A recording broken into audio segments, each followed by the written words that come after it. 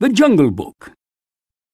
Many strange legends are told of the jungles of far off India. They speak of Bagheera, the black panther, and of Baloo, the bear. They tell of Kaa, the sly python, and of the Lord of the Jungle, the great tiger Shere Khan. But of all these legends, none is so strange as the story of a small boy named Mowgli. Mowgli, you see, had been left all alone in the jungle as a baby. He was found by Bagheera the panther. Bagheera could not give the small, helpless man cub care and nourishment, so he took the boy to the den of a wolf family with young cubs of their own. And that is how it happened that Mowgli, as the man cub came to be called, was raised among the wolves. Ten times the rains came and went, and still Mowgli lived with the wolves. The man cub loved his pack and thought of the wolves as his brothers. Then, one day, everything changed. The tiger, Shere Khan, had returned to the jungle. Akela, the leader of the pack, gathered the wolves at Council Rock. The man cub can no longer stay with the pack, he said. The strength of the pack is no match for the tiger. Out of the shadows stepped Bagheera the panther. Perhaps I can be of help, he said. I know a man village where he'll be safe. Mowgli and I have taken many walks into the jungle together. I'm sure he'll go with me. So it was decided. Bagheera would take the man cub to safety. When the greenish light of the jungle morning slipped through the leaves, Bagheera and Mowgli set out. All day they walked, and when night fell, they slept on a high branch of a giant banyan tree. All this seemed like an adventure to Mowgli, but when he learned that he was to leave the jungle, he was horrified. No, cried Mowgli. I want to stay in the jungle. I'm not afraid. I can look after myself. And so, as Bagheera slept, Mowgli slipped down a length of trailing vine and ran away. Mowgli had not gone far when he saw a baby elephant march past him. Hello, what are you doing? Mowgli asked. The baby elephant explained that he and the other elephants were doing drills. Can I do it too? Mowgli asked. Sure, just do what I do, the baby answered. But don't talk in ranks. It's against regulation. All day, Mowgli marched beside the baby elephant. He was very happy to have found a new family in the jungle.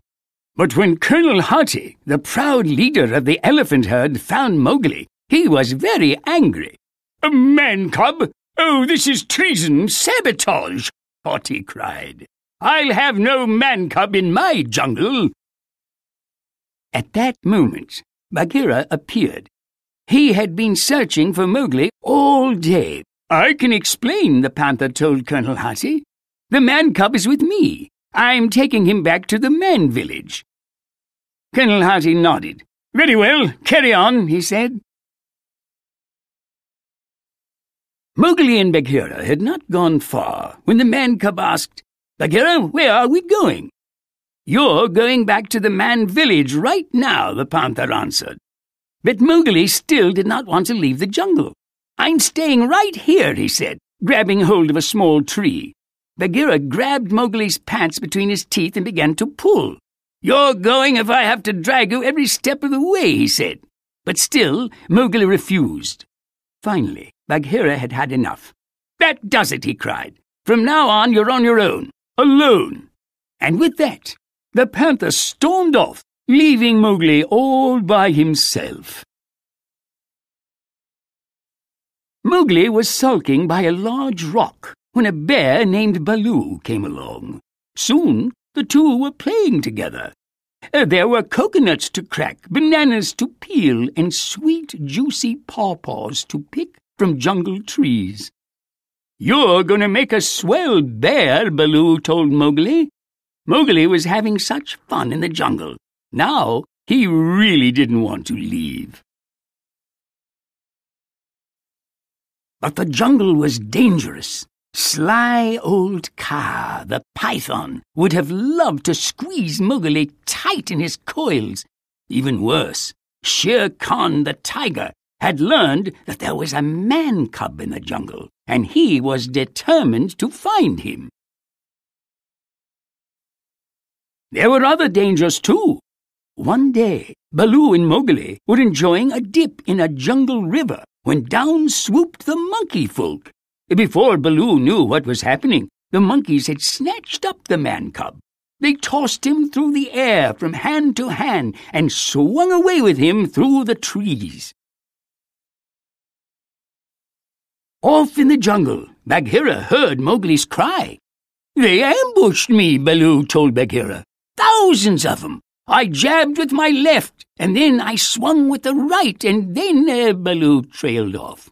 For the last time, what happened to Mowgli? Bagheera asked. The monkeys carried him off, gasped Baloo. Bagheera raced away at once. He had to rescue Mowgli. Bagheera and Baloo raced to the ruined city where the monkeys made their home. They found Mowgli a prisoner of Louie, king of the apes.